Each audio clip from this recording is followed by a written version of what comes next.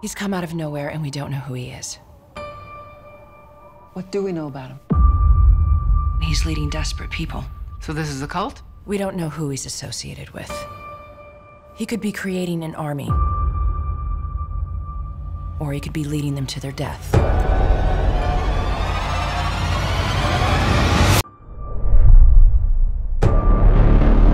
What were you doing in Syria?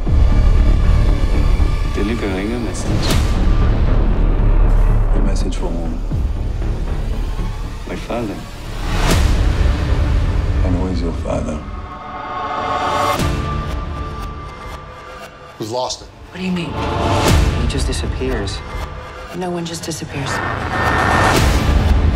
We all witnessed a miracle. He saved my daughter's life. You need to see this.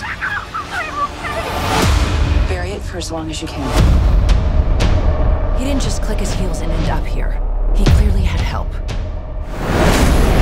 You get around Syria, Israel. Texas. It's the nature of my work. And what is that work? God's work.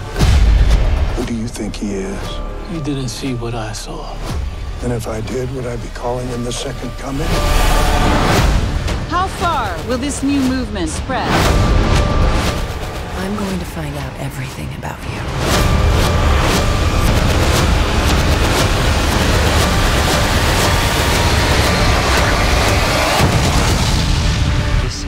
bigger than what you can imagine.